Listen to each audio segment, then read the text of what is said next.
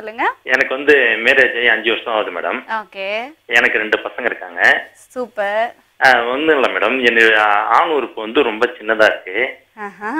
அது சின்னதுனாக்கா இப்போ எனக்கு நாற்பது வயசு மேடம் ஓகே லீனாக தான் இருப்போம் ஃபைவ் பாயிண்ட் சிக்ஸ் ஹைட்டு என்னுடைய அளவு வந்து ஆனால் வந்து அது ஒரு ஒரு மூன்றரை இன்ச்சு தான் மேடம் இருக்கு. அது நார்மல் நார்மல்லையா இல்ல வந்து விரைப்பு தன்மையிலையா விரப்பு தன்மையிலே அந்த ரேஞ்சு தான் இருக்கு மேடம் ஓகே அது வந்து உங்களுக்கு நல்லா வந்து உங்களுடைய ஆணுறுப்பு செயலா செயலா ஆகுது அப்படிங்கறதுனால தானேங்க நீங்க வந்து ரெண்டு குழந்தைகளுக்கு தகப்பனாரா நீங்க?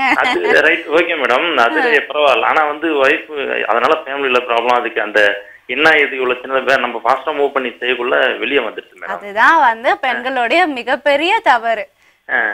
சரி நம்ம வந்து டாக்டர் கிட்ட கேட்போம். இதுக்கு இதுக்கப்புறம் வந்து அது நீட் ஏதாவது இதோ ஏதாவது வாய்ப்பு இருக்குங்களா? ஏதாவது கேட்கணும்.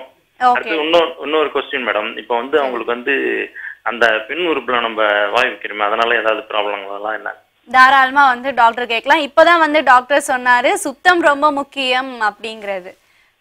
பெண்ணுறுப்பு பெண்ணுறுப்பு ஆணையோ இல்ல வந்து ஆண் வந்து பெண்ணுறுப்பையோ சுவைக்கிறது தப்பு கிடையாது. சுத்தம் ரொம்ப முக்கியம்னு டாக்டர் சொல்லிட்டு இருந்தாரு. சரிங்க மேடம் அந்த அவங்க இதுல இருந்து அந்த விந்து வரச்சு ஏதாவது நம்ம நம்ம இதாயிட்டா என்ன ஆகும் மேடம் புரியல நீங்க கேக்குற கேள்வியே நம்ம புரியல பெ- பெண் உறுப்புக்கு செய்யக்குள்ள அவங்களுக்கு உணர்ச்சி ஆகி அவங்களுக்கு இந்த இது நீர் ஓகே. வெளியாகுது. அவங்களுடைய உச்சகட்டம் அடையும் போது நம்மளது அது சப்போஸ் வாயில பட்டு உள்ள போயிட்டா ஏதாவது ஏதாவது ப்ராப்ளம் அது வந்து நிச்சயமா டாக்டர் கிட்ட கேட்கலாம்.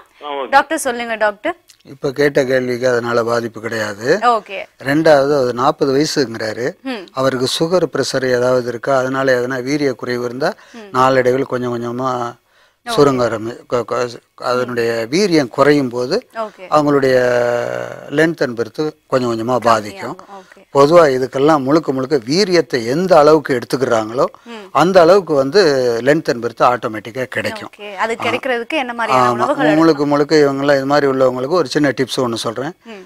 நிலப்பன கிழங்குன்ற ஒரு கிழங்கு இருக்குது நாட்டு மருந்து கடையில். அதை வாங்கி ஒரு பகுதிக்கு கால் பகுதி கற்கண்டு சேர்த்து நல்லா அரைச்சி பொடி பண்ணி வச்சுக்கிட்டு காலை மாலை காலை மாலை பாலில் போட்டு கழி காய்ச்சி சாப்பிட்டுட்டு வரலாம்.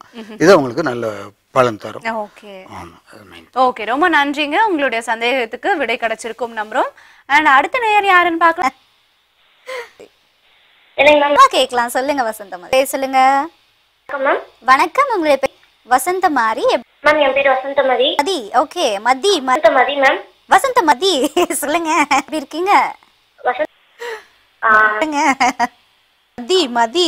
வசந்த மதி. ஓகே வசந்தமதி மேம் எப்படி இருக்கீங்க? வசந்த மாரி. மேம் என் பேர் வசந்தமதி சொல்லுங்க. வணக்கம் உங்களுடைய பேர்